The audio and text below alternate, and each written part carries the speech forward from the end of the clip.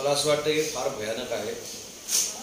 राजकारण करावं परंतु राजकारण एवढ्या खालच्या मात्र आणू नये.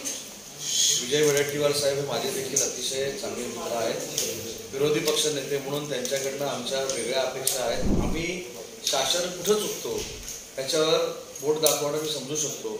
परंतु जे समस्त हिंदू बांधवांचं प्रतीक आहे अयोध्या राम मंदिर त्याच्याबद्दल अशा पद्धतीची टीका टिप्पणी करू नये. परंतु विरोधी पक्ष नेतेपद आल्यानंतर शेवटी राहुल गांधींना देखील दाखवावं लागेल की मी अग्रेसिव्ह पद्धतीनं शिवसेनेवर भाजपवर काँग्रेसवर बोलतोय. ते असं म्हणलं की गुप्त माहिती त्यांच्याकडे आहे. मला असं वाटतं की फार भयानक आहे. राजकारण करावं परंतु राजकारण एवढ्या खालच्या मात्र आणू नये. विजय वडेट्टीवार साहेब हे माझे देखील अतिशय चांगले मित्र आहेत. विरोधी पक्ष नेते म्हणून त्यांच्याकडनं आमच्या वेगळ्या अपेक्षा आहेत.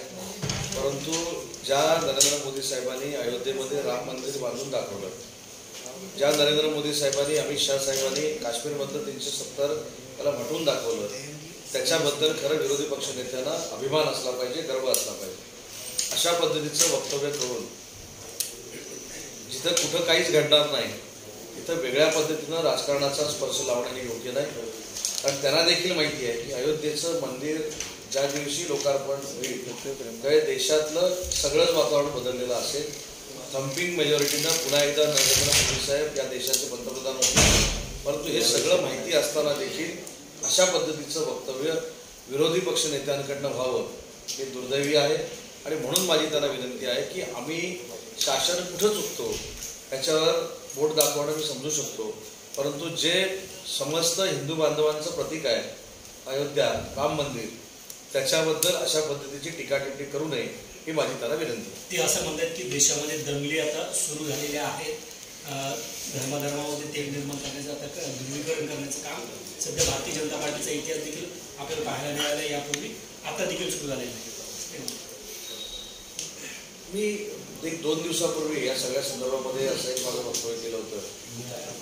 की विजय भाऊना जे काही मी ओळखतो ते अशा पद्धतीतले किंवा अशा स्वभावाचे नाही. परंतु विरोधी पक्ष नेतेपद आल्यानंतर शेवटी राहुल गांधींना देखील दाखवावं लागेल की मी अग्रेसिव्ह पद्धतीनं शिवसेनेवर भाजपवर काँग्रेसवर बोलतोय. तर या भावनेतनं कदाचित ही सगळी वक्तव्य होत असतील. परंतु माझी त्यांना एक मित्र म्हणून विनंती आहे. की राजकारण करत असताना जर चांगलं काम होत असेल तर त्याचं कौतुक देखील करायला विरोधी पक्ष नेत्यांनी पुढे आलं पाहिजे. आणि भविष्यामध्ये मी सांगितलं की अजून पंचवीस तीस वर्ष त्यांनी विरोधी पक्ष नेते राहावं ही माझी त्यांना शुभेच्छा आहे. सर रामदास कदमांवरती अनेक शिवसेनेमध्ये शिवसेनेमधले